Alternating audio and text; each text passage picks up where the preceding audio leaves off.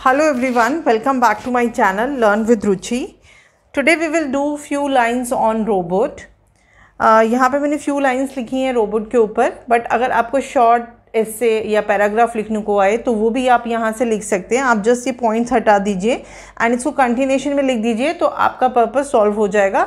ये पैराग्राफ या शॉर्ट ऐसे भी बन जाएगा राइट तो before starting I want to request कि अगर आपको मेरी वीडियो पसंद आए तो प्लीज़ लाइक एंड शेयर ज़रूर से कीजिएगा। एंड uh, अगर आप मेरे चैनल पे नए हैं चैनल सब्सक्राइब नहीं किया है तो प्लीज़ प्लीज़ चैनल भी सब्सक्राइब कर दीजिएगा। तो अब हम स्टार्ट करते हैं।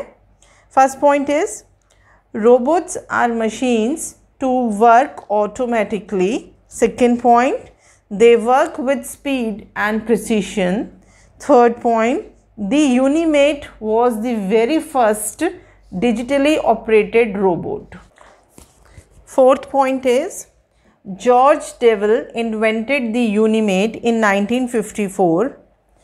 Robots which look like humans are called androids. Sixth point now robots can also do surgery with the help of artificial intelligence. Seventh point in the military robots are used to find and get rid of bombs.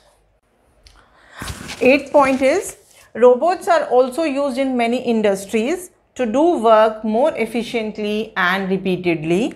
Ninth point robots are directly or indirectly controlled by humans only. Tenth point there are many interesting movies, books and video games based on robots.